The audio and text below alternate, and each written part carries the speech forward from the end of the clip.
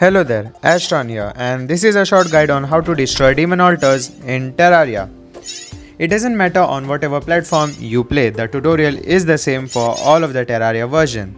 There is only one way to break some demon altars and that's by defeating the Wall of Flesh. Wall of Flesh is a boss which can be summoned in the underworld biome. Once it defeated, you will enter hard mode, which is the most important part for destroying altars.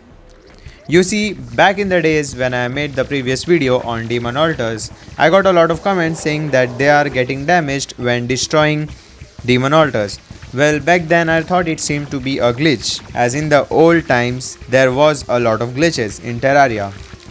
Still, the people were commenting even when the 1.3 update was released. I guess the reason why the demon altars weren't breaking was because the people are either getting the Pwnhammer from different worlds, slash players, slash inventory edits, and God knows whatever cheeky way you got that Pwnhammer. If you don't defeat the wall of flesh and then try to break altars, then you will get hurt by it just like this. And you can't even break it with the axe. And it's the most powerful hammer if you don't defeat the wall of flesh in your world. So yeah, you got the reason why most of the people in the comment section of the previous video are getting hurt by destroying the altars. After defeating the wall of flesh, of which I'll include a good tutorial in the description on how to defeat it so that it will be easy for you to kill the wall of flesh.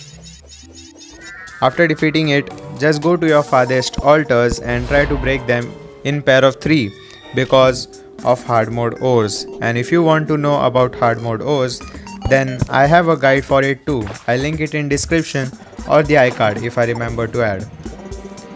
This was the end of this video. Thank you so much for watching this video. If you haven't already liked the video, then be sure to like it because that will recommend more Terrarians and it will help them progress the game. And subscribe too, boys. This was Astron signing out. Peace and bye bye.